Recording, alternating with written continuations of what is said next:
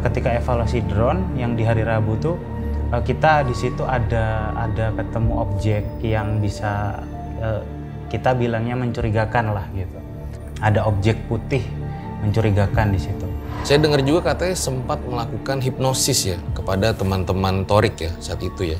Dan akhirnya didapat beberapa data-data yang membantu untuk pencarian saat itu. Betul betul data-data penting yang awal di pencarian awal belum terungkap itu terungkaplah ketika setelah pakai metode hipnosis tadi itu bang. Azan, azan kok azan, saya azan lah di situ. Saya azan, saya saya lantangkan suara saya di situ.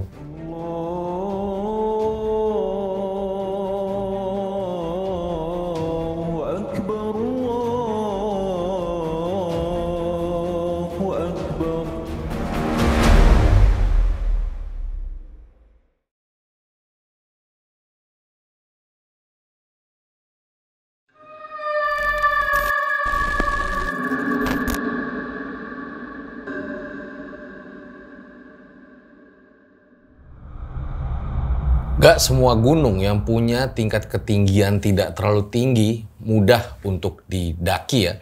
Makanya itu pentingnya kita riset dan mencari tahu. Bahkan beberapa di antaranya itu juga punya kompleksitas yang ternyata cukup sulit ya untuk didaki bagi pendaki pemula.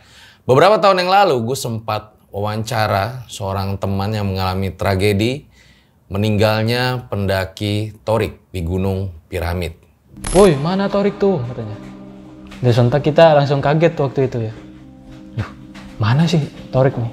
Mungkin pikirannya kita mungkin sembunyi nih di balik semak-semak atau di balik batu waktu itu ya. Kisah itu sempat viral lebih dari 4 juta atau 5 juta yang nonton dan hari ini gue kedatangan jauh-jauh dari Jawa Timur seorang yang pertama kali menemukan jenazah Torik. Halo Mas Eko, Makasih mas bang. udah datang dan ingin bercerita di RJL ya. Sama-sama bang. Saat itu orang pertama yang menemukan jenazah Torik. Iya. Posisi Mas Eko ini sebagai apa? Sebagai relawan, relawan pencari. Relawan pencari. Betul betul. Berberapa saat itu? Waktu itu kalau untuk keseluruhan timnya 10 orang, cuman tim dari tim saya sendiri lima orangan. Saya dengar juga katanya sempat melakukan hipnosis ya kepada teman-teman Torik ya saat itu ya. Uh, iya, jadi waktu apa metode penggalian datanya, saya saran ke rekan-rekan di sana waktu itu pakai metode hipnosis. Dan akhirnya didapat beberapa data-data yang membantu untuk pencarian saat itu. Betul betul data-data penting yang awal di pencarian awal belum terungkap itu terungkaplah ketika setelah pakai metode hipnosis tadi itu, Bang. Oke, udah berapa lama aktif di dunia pencinta alam seperti ini, Mas? Kurang lebih kalau kan dulu saya di kampus juga e, Mapala juga kan. Sampai sekarang pun Mapala itu. Jadi dari 2013-an lah, Bang. Oke. Jadi ini salah satu yang mungkin konten bisa dijadikan pelajaran juga ya hmm. bagi kita semua nih. Makanya langsung aja kita mulai. Berikut adalah ceritanya.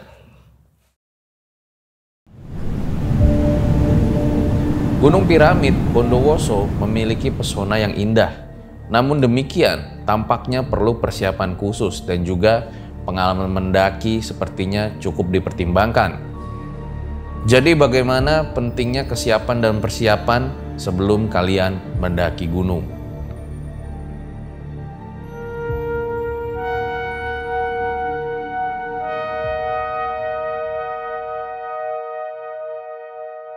Untuk menghormati kisah ini, atribut yang di belakang kita copot aja guys.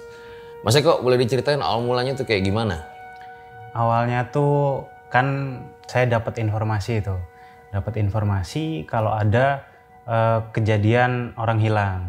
Orang hilang di gunung, waktu itu gunung. Orang-orang sebutnya kan Gunung Piramid tuh, Bang, di daerah Bondowoso. Di situ Uh, terus saya coba buat koordinasi sama teman-teman saya di komunitas gitu. Teman-teman saya di organisasi saya coba koordinasi. Akhirnya uh, lahirlah keputusan kita perlu nih sepertinya untuk berangkat ke sana untuk sebagai relawan. Kita berangkatlah itu. Jadi waktu saya datang itu kan hilangnya itu hari Minggu, Bang. Hari Minggu saya datang tuh hari Selasa. Selasa sore. Uh, mulai ikut efektif pencariannya itu di hari Rabu pagi. Jadi saya datang ke sana uh, berlima orang sama tim saya. Sebentar, informasi awal yang didapat tuh apa sama Mas Eko? Uh, ada pendaki hilang waktu itu. Oke. Hmm, ada pendaki hilang. Nah, kalau di kita itu biasanya tuh eh, pembagian timnya tuh ada yang standby di posko, ada yang eh, di lapangan gitu, Bang. Jadi di posko ini yang buat eh, penggalian, pengembangan informasi, terus hasil evaluasi-evaluasi kegiatan hariannya, terus mapping, mapping arah pergerakan esok harinya, seperti itu seperti itu bang. Kalau untuk yang di lapangan ini lebih ke uh, tim teknisnya, jadi tim operasionalnya lah kayak gitu. Kebetulan waktu itu saya uh, koordinator, jadi saya di posko, jadi saya yang uh, uh, mengarahkan dan apa ya uh, briefing terkait pergerakan esok hari seperti itu. Hari Rabu, hari Rabu pencarian itu sampai uh, Rabu malam pun itu masih nihil waktu itu. Itu berarti di hari ke uh, tiga. Kan mulai pencarian hari Senin. Hari ketiga masih nihil terus kan uh, di sana tuh dari berbagai elemen tuh bang uh, mencarinya ada yang pakai drone juga gitu dari teman-teman saya ingat saya teman-teman SMK sama teman-teman waktu itu bawa drone uh, di hari Rabu kan ada yang ngedrone juga tuh nah di hari Kamisnya hari Kamis anak-anak uh, tetap uh, operasional secara normal seperti biasanya. Nah, saya tim posko tuh evaluasi drone yang kemarin, Bang. Drone yang hari Rabu. Uh, ketika evaluasi drone yang di hari Rabu tuh uh, kita di situ ada ada ketemu objek yang bisa uh, kita bilangnya mencurigakan lah gitu. Waktu evaluasi video drone yang hari Rabu. Ada objek putih mencurigakan di situ. Karena informasinya si uh, korban ini itu pakai baju putih waktu itu. Jadi kan itu jadi jadi apa ya? Jadi trigger kita untuk uh, apa pun yang berobjek putih itu patut kita curigai itu jangan-jangan jangan-jangan kayak gitulah. Jangan-jangan itu korban, jangan-jangan itu korban gitu. Di hari Kamisnya uh, kita selesai evaluasi video tuh siang siang. Jadi kita instruksi ke tim lapangan tuh untuk uh, tag ulang area-area yang ada objek putihnya tuh. Jadi uh, video drone terbangkan lagi di situ kurang waktunya, waktunya waktu itu kurang kurang mumpuni karena udah sore juga kan kita dapat informasi evaluasi itu siang. Uh, terus juga baterai terkait baterai. Kan dari pagi udah terbang tuh dia. Dari pagi udah terbang teman-teman uh, logistiknya baterainya tidak cukup untuk sampai sore. Akhirnya uh, di hari berarti itu tadi Kamis, terus di hari Jumatnya bang, itu kita fokuskan semua di uh, objek putih itu. Jadi drone juga kita fokuskan di area objek putih, terus kemudian si uh, tim penyisirnya juga, tim pencarinya juga kita fokuskan juga di uh, menuju uh, objek putih. Ini di mana? Oh, itu di punggung, di punggungan gunung, Bang. Jadi kan kita punggung naga itu. Mm, betul betul. Biasa orang sebutkan punggung naga ya. Tapi itu di lereng yang bagian selatannya, saya ingat saya. Jadi lereng bagian selatan, uh, di situ teman-teman yang di lapangan mencoba menuju ke lokasi dibantu dengan uh, arahan dari si drone itu gitu. Objek putih seperti apa yang kelihatan di video, Mas? Uh, lebih ke karena kan saya kurang paham juga jarak drone dengan jarak sebenarnya gitu. Jadi kayak uh, waktu itu kita mikirnya itu besar bang. Itu besar karena nggak ada pembanding waktu itu. Nggak ada yang bisa dibandingkan apakah ini besar atau kecil gitu. Yang jelas itu objek putih di tengah-tengah hijau gitu. Jadi kan itu patut patut kita cek gitu apa itu. Jangan-jangan itu orang atau hmm. apa kayak gitu. Kurang okay. lebih gitu sih bang. Terus gimana lagi mas? Terus setelah di hari Jumatnya kan kita fokus tuh. Jadi tuh sempet di bawah tuh udah uh, rame. Di bawah udah rame, wah udah ketemu nih, udah ketemu, udah ketemu gitu. Karena kan uh, informasi itu berkembang, Bang. Informasi yang uh, drone menangkap objek putih tadi tuh. Terus sampai di bawah itu kan eh, ada pos penjagaan tuh sebelum naik pencarian. Nah itu sempat ditahan tuh, di stop di situ. Tidak ada yang boleh naik ke atas. Jadi difokuskan eh, tim yang di atas untuk fokus mencari dan fokus di objek putih tadi gitu. Pencarian tuh dari jam berapa sampai jam berapa aja mas? Kalau start biasanya kita jam 8, jam 8 namanya 8 jam 9-an gitu. Kita tarik mundur tuh antara jam 3 jam 4-an lah Bang, sebelum gelap. Itu kita udah tarik mundur. Kan ada ada yang camp di atas, ada yang turun juga ke bawah Bang. Gitu. Berarti bolak-balik lewat punggung naga itu ya? Betul. Yang dirasa apa mas? Ah, ya karena ini sih, Bang ya. Karena apa? Durasinya kan juga lumayan tuh kalau dari bawah kan. Kurang lebih estimasi perjalanannya tuh 3 sampai 4 jaman lah dari dari bawah tuh. Jadi ya kalau bisa dibilang eh, capek ya capek gitu, Bang. Kayak gitu sih, Bang. Oke, nah pas melewati yang punggungan itu, Iya. Wah, ngeri-ngeri ini sih kan anginnya apalagi kalau sore tuh. Anginnya kan kenceng di sana, Bang. oke. Itu kan posisi punggung naga tuh tidak ada pohon-pohon bang. Jadi eh, memang benar-benar cuman rumput-rumput tandus gitu bang. Dan jalur itu ti- 30 cm lah estimasi. Sejengkal 30 cm itu. Abang bayangin aja jalan di yang segini gitu. Angin kenceng dari kiri kanan tuh kan pasti ngeri juga tuh. Terus gimana lagi mas Eko? lanjut ke yang tadi eh, setelah dicari tahu nih bang eh, tim yang eh, operasional yang teknisnya nyamperin ke objek putih udah diarahin sama si dronya ternyata objek putih itu eh, bungkus mie instan. Jadi bungkus mie instan yang karena terpapar sinar matahari tuh bang kan lama tuh. Jadi kan udah tulisannya hilang dan lain sebagainya. Karena kita tidak ada pembanding waktu itu kita anggap itu besar gitu dari drone-nya nih ternyata itu sampah gitu bungkus bungkus mie gitu. Akhirnya setelah itu udahlah itu balik lagi. Di hari Jumat tuh juga nihil hasilnya tuh. Kita evaluasi lagi tuh. Nah di situlah kita tuh punya kesimpulan kalau kita nggak bisa nyari eh, gini terus. Makanya nyari gini terus tuh eh, kita perlu penggalian data ulang. Kita perlu penggalian data ulang ke saksi-saksi dan pengembangan eh, data-data yang sudah didapat sebelum-sebelumnya gitu. Ini gimana nih eh, area sini sudah dicari eh, nggak ketemu nihil, area sini sudah nggak ketemu. Ini mau nyari di mana lagi gitu. Itu di hari setelah eh, ketemu objek putih yang bungkus mie instan tadi itu.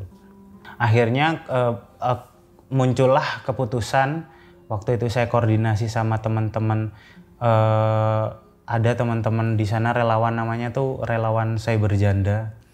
Jadi itu saya ingat saya namanya Mas Gesit. Gimana nih Mas kira-kira eh, kita gali data ulang eh, ke teman-teman korban atau ke saksi nih. Eh, Oke lah coba gimana kalau misal kita pakai metode hipnosis saja bang. Gitu. Oke coba eh, kebetulan si Mas Gesit ini kan dia tuh punya teman gitu, punya teman yang memang buka terapi hipnoterapi bang. Jadi buka terapi kita akhirnya kita arahkanlah di situ. Kita arahkanlah penggalian data ulang Eh, di dalam kondisi trans kita gali, kita kita tanya-tanya tentang peristiwa waktu itu. Sebentar, saya penasaran Iya. nih. Proses hipnosisnya seperti apa? Eh, kalau secara teknis mungkin ya sama kayak yang pada umumnya sih bang. Kalau di hipnosis kan setahu saya tuh ada eh, metode induksinya tuh banyak tuh. Ada yang shock induksi, ada yang eh, kayak mediasi gitu. Jadi di Saat apa relaksasi. kayak- Enggak enggak enggak. Posisinya itu di kota bang penggalian datanya. Saya saya waktu itu nggak ikut. Saya posisinya di posko kan, di posko di gunungnya kan. Nah teman-teman yang penggalian data ini ada tim sendiri yang timnya Mas Gesit tadi tuh uh, penggalian data. Nah kita dapatnya recordingnya aja, Hmm. recording hasil penggalian data sama informasi-informasinya. Itu yang dilempar ke tim lapangan. Barulah kita pengembangan area pencariannya dari informasi yang uh, sudah digali itu tadi.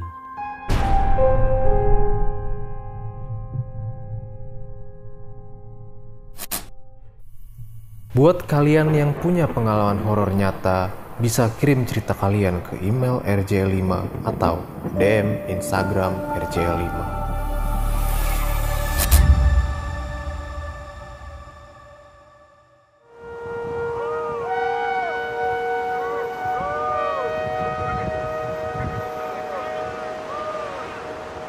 Itu di hari Sabtu. Itu di hari Sabtu kita dapat informasi, kita dapat informasi eh, karena itu di hari ke-6 pencarian, Bang. Jadi kita cuman tinggal satu hari lagi nih di hari Minggunya. Di hari Minggu itu hari terakhir pencarian. Artinya kita baru bisa melakukan eh, teknis pengembangan dari informasi yang baru itu kan di hari Minggunya tuh hari terakhir pencarian.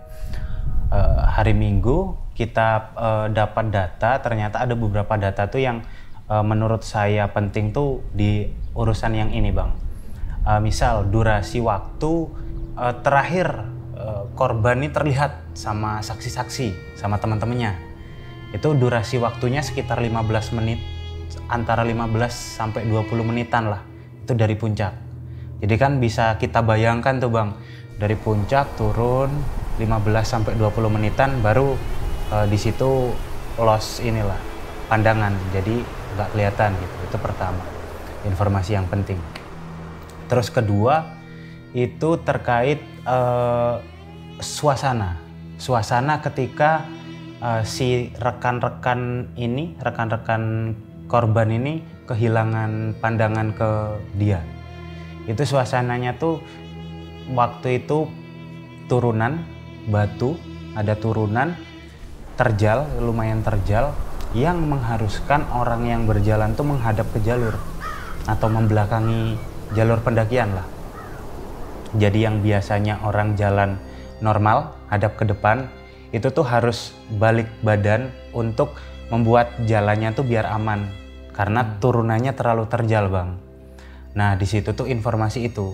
Jadi akhirnya kita simpulkan kita perlu mencari titik yang di mana mengharuskan orang berjalan membelakangi jalur. Sama waktu itu tadi acuan kita. Jadi eh, 15 menit sampai 20 menit dari puncak itu nyampe mana kalau berjalan. Nah, itu yang jadi acuan kita eh, area pencarian baru karena kebetulan area yang eh, diestimasikan lokasi itu tadi itu belum tersapu, belum dicari waktu hari pertama-pertamanya itu. Di hari Minggu kita eksekusi lah itu.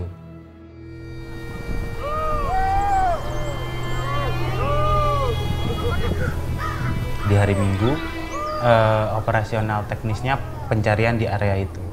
Pencarian di area itu cuman ternyata di lapangan tuh medannya nggak semudah yang kita bayangkan. Medannya nggak semudah yang kita bayangkan. Eh, dicari secara biasa itu jalan biasa tuh nggak memungkinkan. Jadi perlu ada bantuan alat-alat tambahan. Medannya itu seperti apa, Mas? Waktu itu eh, batuan sih bang, batuan turunan curam seperti itu. Jadi banyak banyak banyak kemiringannya. Kan kiri itu gambarannya itu kan jalur kiri kanan tuh jurang. Jadi jalur jalur kiri kanan dan eh, yang bikin ini tuh rumputnya tinggi tinggi bang. Jadi kalau orang ngiranya itu bukan bukan jurang gitu, tapi kalau masuk itu langsung ke bawah. Jadi rumputnya tuh sat- satu setengah meter sampai 2 meter. Jadi orang di dalam tuh tenggelam eh, lebih tinggi rumput daripada orang. Itu di area situnya. Akhirnya hari Minggu pun nihil bang. Hari Minggu hari terakhir pencarian yang sudah kita maksimalkan dari informasi terbaru itu tetap tidak ada hasil waktu itu gitu. Tidak ada hasil karena memang keterbatasan alat waktu itu eh, tidak membawa eh, alat yang menunjang sampai eh, sore tidak tidak ada hasil gitu sih kurang lebih bang. Saya dengar juga dari Rizky ya, katanya banyak, eh, mohon maaf kayak paranormal gitu ya di lokasi itu ya. Hmm, iya sih, se seingat saya memang banyak bang. Karena bisa dibilang tuh bukan cuman paranormal sih, tapi relawannya pun itu sangat banyak sekali waktu itu. Oke. Karena kan ah, nggak tahu ya, atensi masyarakat tuh sangat sangat sangat eh, apa ya, banyak banget lah pokoknya yang datang itu. Kalau misal dihitung dari awal hari pencarian sampai hari terakhir tuh Ya ada kalau seratusan lebih itu bang. Dari berbagai elemen juga itu. Waktu itu ada cerita yang sampai seperti ini juga. Saya turun, saya turun ke bawah. Waktu mau beli sesuatu ketemulah ibu-ibu tuh bang. Ibu-ibu naik bawa motor sambil boncengin anaknya gitu. Sambil bawa kantong kresek. Ketemu saya naik ibu-ibu kan agak susah tuh ditanjakan bang. Saya samperin kan "E, kenapa bu motornya ini "E, mas mau naik gitu. Mau ke mana mau ke posko relawan mas. Ini ada nasi buat relawan gitu. Jadi sampai warga setempat pun tetangga desanya pun sampai sampai kayak gitu. Saling support atensinya ya? tuh betul betul. Betul. Jadi kekompakan dan apa ya perhatiannya tuh emang bener-bener pengen ini cepet selesai cepet ketemu dan lain sebagainya. Kayak gitu sih bang kalau saya ngeliat tuh. Iya ya, dari berbagai Hmm. elemen ya. betul betul. Dari berbagai elemen Saya dengar juga ada yang bawa sajen juga gitu. Itu ketemu Iya, Mas. iya. wah banyak kalau gitu bang jadi Banyak ya? Heeh, kalau biasanya di operasi sar tuh memang ada kalau uh, beberapa orang tuh nyebutnya ya uh, sarkun Iya, sardukun. Iya, kayak gitu. Jadi itu selalu ada. Eh, entah teknis, eh, yang teknis ya pencarian teknis, yang paranormal ya pencarian secara cara mereka kayak gitu. Nah setelah hari Minggu itu apa yang dilakukan Mas Eko sama tim? Waktu itu karena memang operasi SAR sudah ditutup, saya sama tim sebagai relawan, sebagai anggota anggota pencarian operasi SAR itu, ya otomatis kita balik kanan bang. Kita balik kanan turun ke kota, ke waktu itu teman-teman Mapala ini ke base campnya Mas waktu itu. Di situ ah, sembari menunggu kan saya ada bantuan kawan lagi nih bang, bantuan kawan eh, yang mau datang, yang mau datang, bantuan tim lah personil, bantuan personil yang mau datang, mau oper personil. Jadi yang tim saya ini ada beberapa yang mau balik kanan pulang ke rumah karena itu sudah berarti sudah sekitar lima harian di sana eh, ganti sama personil baru. Itu sambil nunggu itu kita koordinasi di situ. Satu, pengembangan informasi yang hasil hipnosis. Dua, eh, ke- menghimpun personil, menghimpun personil lagi. Gimana caranya kita melanjutkan eh, lokasi-lokasi yang belum disisir atau belum dicari, gitu bang. Untuk di hari hari Minggu balik kanan, hari Senin itu hari Senin kita bisa dibilang day off lah. Rest dulu sambil mikir gimana caranya kayak gitu.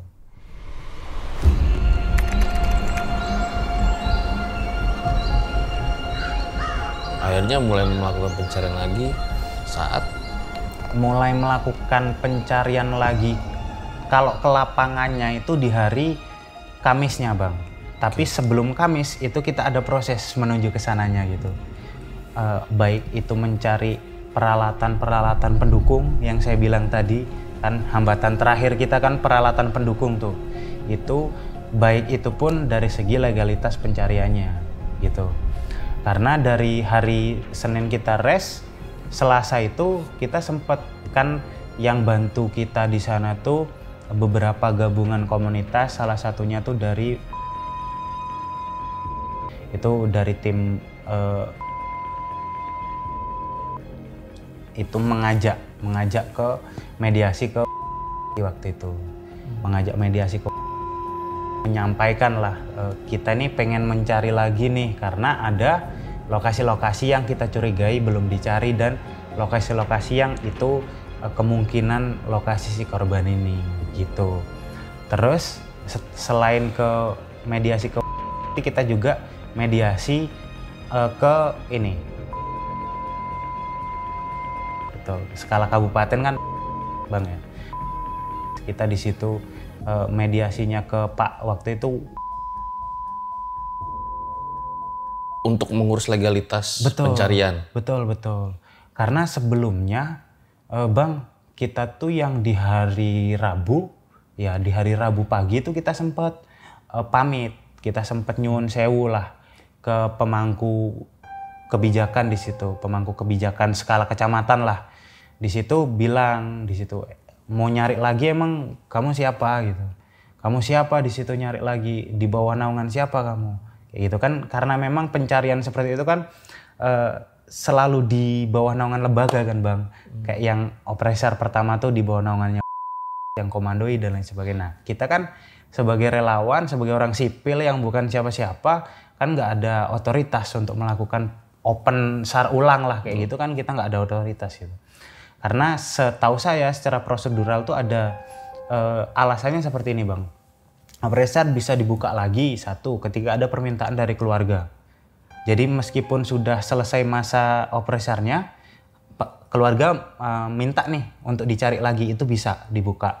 Kedua, karena ada tanda-tanda yang uh, mencurigakan atau yang jejak-jejak yang mencurigakan mengarah ke lokasi di hari-hari akhir pencarian itu baru bisa dibuka lagi. Nah, waktu itu karena secara teknis memang tidak ditemukan apa pun, uh, jadi secara yang dari waktu itu tidak dibuka lagi. Kayak gitu kita coba tadi uh, pamit ke pemangku yang di skala kecamatan hmm. tidak diizinkan waktu itu tidak diizinkan makanya kita direct langsung ke uh, waktu itu hmm. direct langsung ke uh, akhirnya dikeluarkanlah di situ sprint surat perintah jadi surat perintah waktu itu yang tertulis sekitar 10 orang tim saya tim gabungan jadi tim gabungan 10 orang yang melakukan pencarian ulang pencarian ulang. Untuk tim yang dari itu penjagaan, penjagaan di sterilisasi area lah, penjaga di bawah. Kita 10 orang naik, yang di bawah tuh dijaga agar tidak ada orang yang naik gitu. Karena kan nanti bikin rancu operasional kalau misal ada tiba-tiba orang asing naik dan lain sebagainya kan gitu. Itu sih, Bang. Mas Eko, mungkin teman-teman para lang sama Erjel Saset pada nanya ya, kenapa sih hmm. sampai segitunya untuk melakukan pencarian lagi gitu? Hmm. Jadi kalau uh, kita mikirnya tuh kan operator nih, kalau misal nggak sampai ketemu itu masih ada hal yang ganjel lah, bang. Jadi kayak kita nggak nggak belum menyelesaikan tugas yang sudah diberikan kayak gitu. Itu satu. Kedua juga kan uh, waktu itu memang apa ya karena memang ingin ya ingin capaian kita goals kita itu ya ketika ketemu gitu sih bang oke lalu pencarian dilakukan di hari Jumat nih hari Kamis sih bang hari Kamis kita naiknya nah sebelum itu juga kan eh, selain ke instansi terkait yang saya sampaikan tadi itu kita juga sempat eh, meminta izin lah pamit ke orang tua orang tua almarhum. Waktu itu saya datang sama eh, beberapa rekan saya ke rumah gitu. Saya pamit di situ. Uh, uh, mau minta izin untuk mencari kembali gitu. Nah sebenarnya secara secara uh, dari keluarganya tuh sudah ikhlas sebenarnya gitu. Jadi kayak bilangnya orang tuanya ya udah kalau misal uh, punya keinginan untuk mencari lagi uh, saya malah kami malah seneng gitu. Kali malah seneng tapi kalau misal nggak ketemu juga kami udah ikhlas kayak gitu. Untuk yang di orang tuanya tuh. Setelah izin orang tua hari Kamisnya nah sebelum naik itu kan kita sudah uh, kemarin kan sudah evaluasi tuh hasil data dan lain sebagainya. Kalau kita perlu untuk melakukan bisa dibilang vertikal lah. Operasi operasi vertikal gitu yang membutuhkan alat-alat bantuan seperti tali dan lain sebagainya. Itu uh, kita mau survei bang, kita mau survei naik ke atas untuk mencari kira-kira tambatan mana nih yang bisa kita jadikan anchoring lah, kita jadikan anchornya. Nah setelah kita survei ternyata di atas kan nggak ada pohon sama sekali kan, nggak ada pohon sama sekali. Di situ uh, kita simulasikan data yang awal tadi uh, di satu lokasi itu memang ada satu batu besar tapi kalau kita hanya menambahkan tali itu di satu batu besar tersebut kan riskan untuk jatuh tuh. Potensi batu ini tergelincir kalau dibebanin kan kita nggak tahu tuh posisinya. Nah untuk amannya kita pakai backup waktu itu. Kita di hari Kamis pagi itu kita sempat uh, membuat besi bang.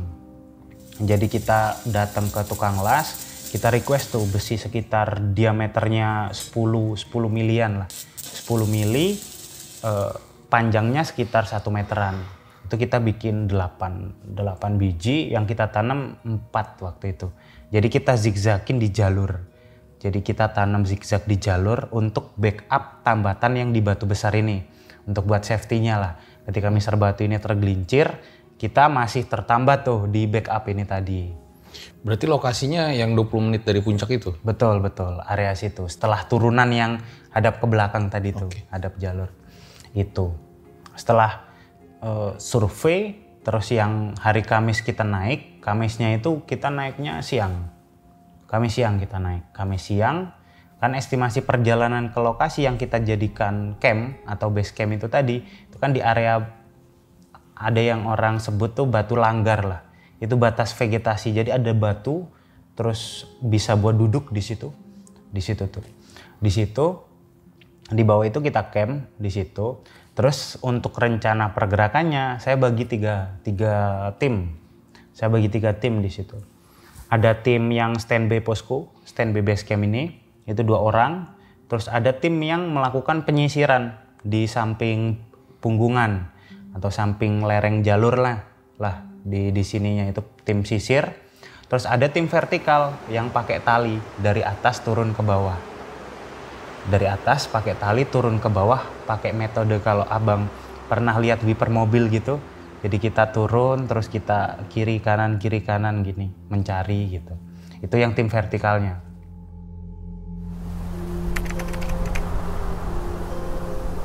Singkat cerita di hari Jumat pagi kita mulai pencarian dengan eh, komposisi tiga tim tadi itu.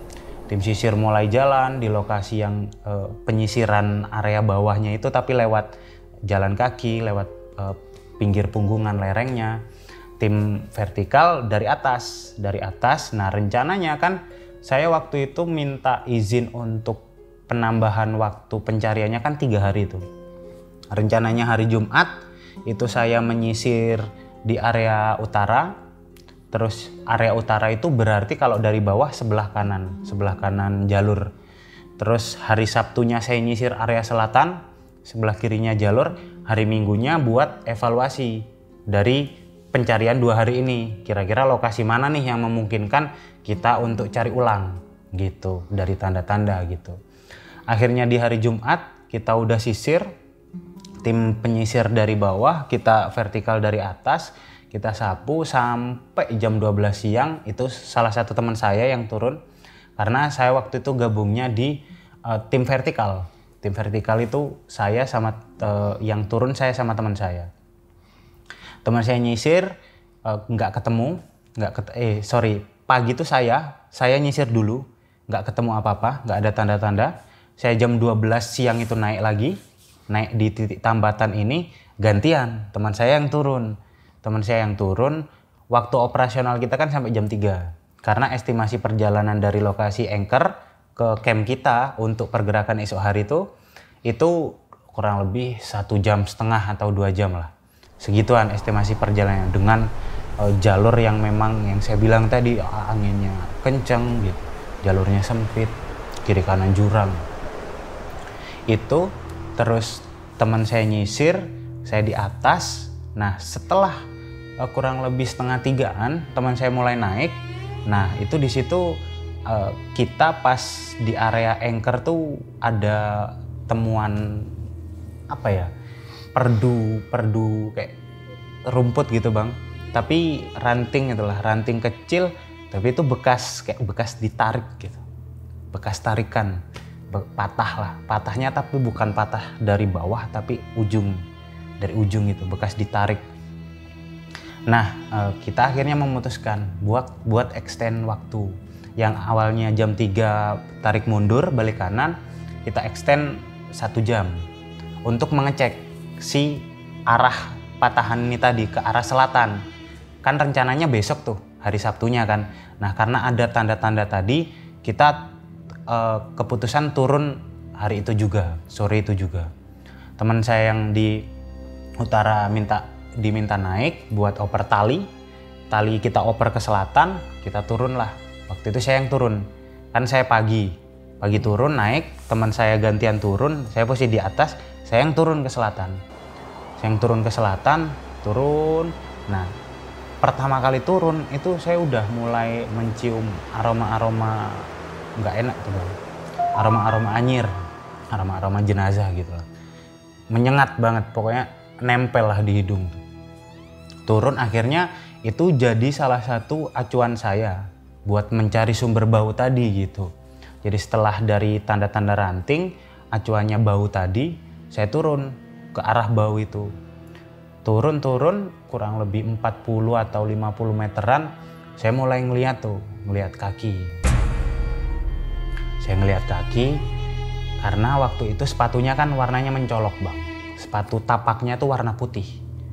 Sepatunya hitam, tapaknya warna putih. Saya ngeliat kaki, wah kaki saya pastikan lah sebelum saya lapor ke atas nih. Sebelum saya uh, informasikan ke atas, saya pastikan dulu. Saya turun lagi. Saya turun, saya turun, saya turun, kurang lebih ke uh, kedalaman 75 meter atau 80 meteran. Itu saya orientasi ternyata itu betul yang kita cari gitu korban gitu seperti itu bang yang dilihat seperti apa mas? Posisinya itu korban ini uh, almarhum ini tertelungkup. Jadi tersangkut di dua batang pohon gitu. Kalau dari analisa saya semenjak si korban atau almarhum ini jatuh itu tidak tidak bergerak. Di situ aja. Jadi nggak nggak ada upaya atau misal jatuh terus masih bisa bergerak gitu enggak. Jadi tetap di situ gitu. Jadi ketika sudah melihat ada jenazah itu apa yang dilakukan? Nah, ketika saya pastikan kalau itu benar-benar yang kita cari gitu, saya langsung uh, informasikan kan ke atas. Waktu itu pakai instruksi peluit. Saya pakai peluit, uh, saya tiga kali peluit peluit tiga kali prit prit prit gitu terus uh, orang atas tim menginstruksikan saya uh, lebih ke teriak sih bilang kayak azan azan kok azan? Saya azan lah di situ. Saya azan saya saya lantangkan suara saya di situ.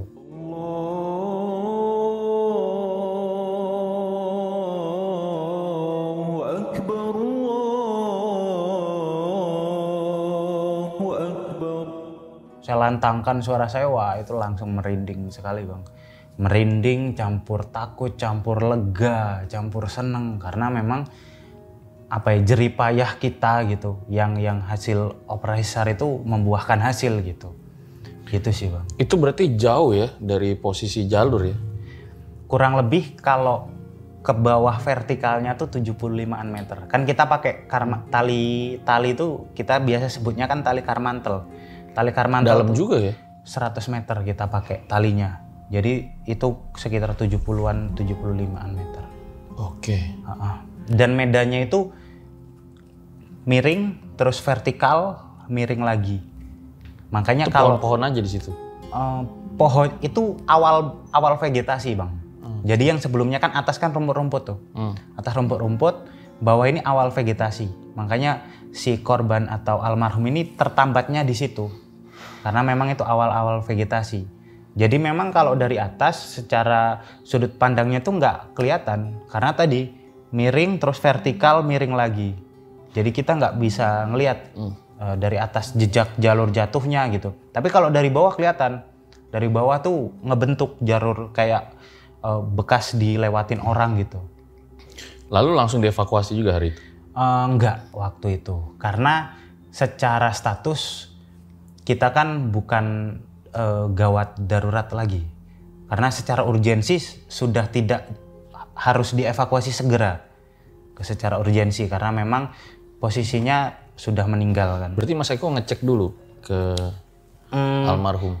Ngeceknya waktu itu nggak ngecek sampai nyentuh bang ya, karena posisinya jenazahnya itu kan posisi sudah menghitam gitu. Jadi kan saya waktu itu nggak bawa sarung tangan latek, jadi untuk menyentuh pun saya tidak berani karena kan bahaya juga kan bang untuk bakteri jenazahnya tuh kan kalau ke kulit kan bahaya gitu.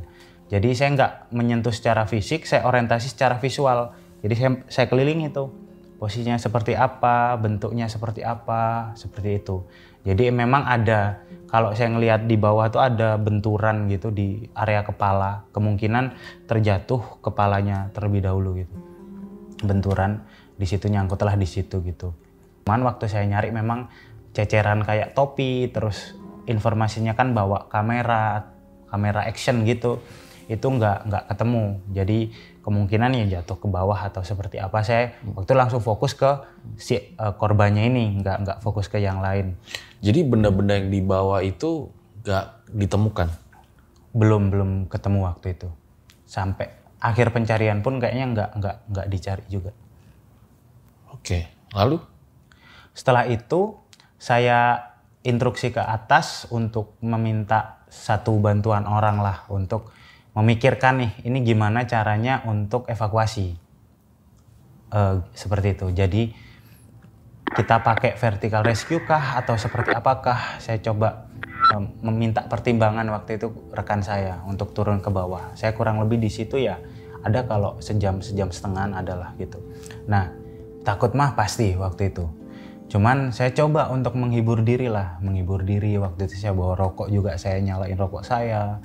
Terus saya coba gitu untuk menghibur diri saya dengan uh, ngobrol gitu ngajakin ngobrol ke jenazahnya gitu ke almarhumnya gitu. Alhamdulillah sudah ketemu gitu. Udah seneng nih keluarga nih kayak gitu. Pulang habis inilah bisa dimakamkan dengan layak dan lain sebagainya. Wah itu eh seneng banget lah. Saya saya ngerasa ya kayak wah akhirnya ketemulah ini yang dicari ketemu gitu. Itulah untuk saya menghibur diri gitu bang. Rekan saya datang turun ke bawah akhirnya gantian sama rekan saya.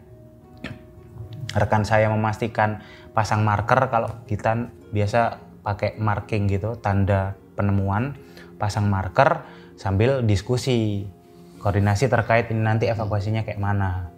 Setelah itu saya naik saya naik ke atas buat koordinasi sama pemangku kepentingan. Waktu itu kan kita sprintnya kan dari tuh. Saya koordinasi sama koordinasi gimana gini gini gini. Terus arahannya mau dievakuasi malam itu. Cuman karena secara urgensi pertimbangan kami e, bisa ditahan makanya bisa ditunda esok hari waktu terang gitu. Terus kedua juga secara tim karena tim saya kan dari pagi tuh bang udah hmm. dari pagi pencarian kami udah dari pagi pencarian kan pasti energi juga sudah terkuras. Artinya uh, aware udah waspada kewaspadaannya udah turun lah. Hmm. Jadi takutnya ada apa-apa aja gitu di jalan. Makanya, Jadi baru besoknya tuh dievakuasi. Betul betul kita tahan besoknya baru evakuasi. Kurang lebihnya seperti itu. Evakuasi pun itu kita memakan waktu kurang lebih 10 sampai 11 jaman lah.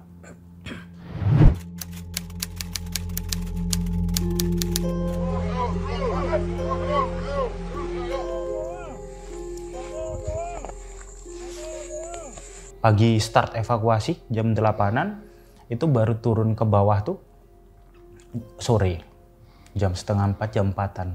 Jadi di rumah sakit tuh malam.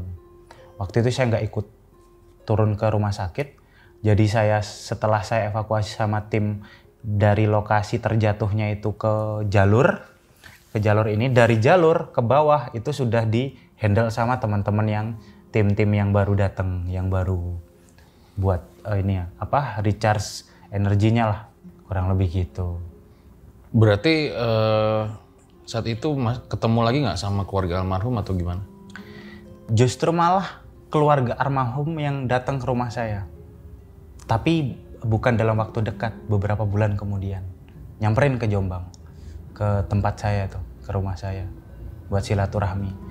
Kalau setelah pasca itu kan di rumah sakit udah handle pemakaman dan lain sebagainya ya nggak sempet kontak apa apa saya juga posisinya langsung turun langsung persiapan untuk balik kanan dan kita dari luar kota persiapan untuk balik kanan balikin alat pamitan dan lain sebagainya barulah kita balik. Tapi itu tetap kita komunikasi via handphone hmm. gitu sama orang tuanya.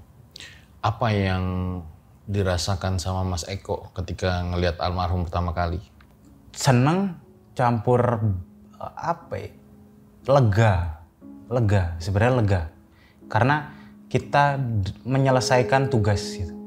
Itu yang yang yang ada di pikiran saya waktu itu. Karena kan kami kadang tuh menganggap bukan kadang ya kita menganggap tugas itu adalah kehormatan Jadi kita harus sebisa mungkin menyelesaikan kehormatan kita gitu.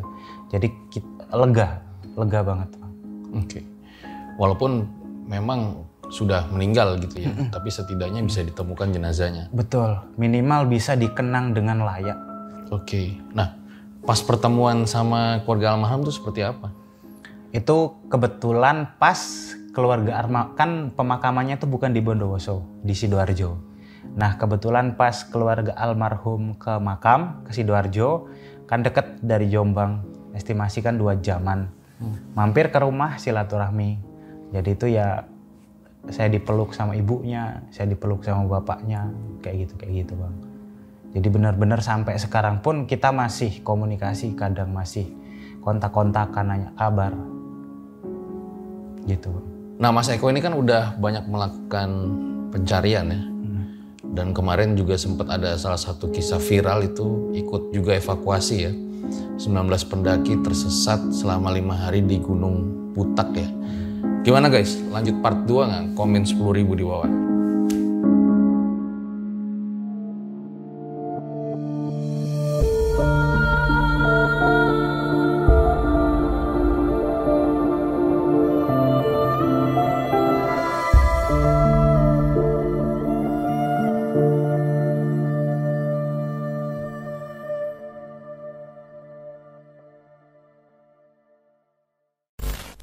Setelah menemukan almarhum gitu ya, pernah nggak sih gitu bermimpi atau tiba-tiba nginget lagi kejadian itu gitu? Kalau bermimpi sih enggak bang, tapi kalau nginget pasti. Karena itu salah satu kejadian yang ya salah satu kejadian yang berharga lah di di di pengalaman perjalanan hidup lah gitu. Bisa bisa sampai se, sejauh itu gitu. Gitu sih bang. Kalau menurut Mas Eko sendiri gunung piramid itu ya bisa buat pemula atau enggak? Nah, kadang kita juga perlu uh, bedah juga nih, Bang. Pemula yang kita maksud tuh kayak mana gitu kan. Saya saya pikir semua orang ya, meskipun orang yang sering banget naik gunung, di semua gunung tuh mereka pemula. Oke. Karena setiap momen, setiap waktu itu pasti suasana, kejadian, perjalanan itu pasti berbeda. Jadi kita nggak nggak bisa uh, meremehkan atau apa ya? Kita mikir kalau kita sering naik gunung terus di gunung ini kita udah bisa apa pun kayak gitu. Itu dibuang jauh-jauh ya? Jadi kita harus berpikir sebagai pemula di mana pun gunungnya. Gitu sih bang. Kalau untuk piramid sendiri ya setiap orang yang pengen naik ke sana ya harus mikir dia pemula. Biar dia lebih waspada, dia aware ya. Rata-rata kalau yang Mas Eko temuin ya, tragedi hilang atau tersesat itu karena apa sih? Nah, rata-rata tuh, nah ka- kalau di kegiatan alam terbuka tuh kita kenal ada objective danger sama subjective danger, bang. Nah, bisa dibilang eh, presentase tertinggi itu penyebab tersesat, hilang, terjatuh tuh disebabkan oleh subjektif. Bahaya yang timbul dari diri sendiri, yang sebenarnya bisa kita antisipasi gitu. Dengan persiapan yang matang, penggalian data informasi yang jelas, tim yang solid, dan lain sebagainya. Nah, penyebabnya rata-rata memang dari sumbernya dari diri sendiri. Jadi yang yang sumber objektif yang dari alam itu sangat minim sekali. Total udah berapa Mas Eko tuh melakukan pencarian orang hilang dan tersesat? Seingat saya ada kalau 4 5 kali ya. 4 sampai 5 kali ya. Oke guys, gimana nih? Kita lanjut ke part 2 atau enggak boleh banget 10.000 komen di bawah. Ya, itu dia guys eh, kisah pada kali ini. Makanya ke mana pun kita pergi ya, sebenarnya bukan ke gunung doang ya. Jadi ke tempat wisata pun kalau misalnya kita nggak menyiapkan secara matang gitu ya, jangan-jangan malah jadi sarang arena bahaya nih buat diri kita sendiri dan juga orang-orang yang pergi ke tempat wisata itu. Gue Fajar Ditya, RJ5 undur diri. Ciao.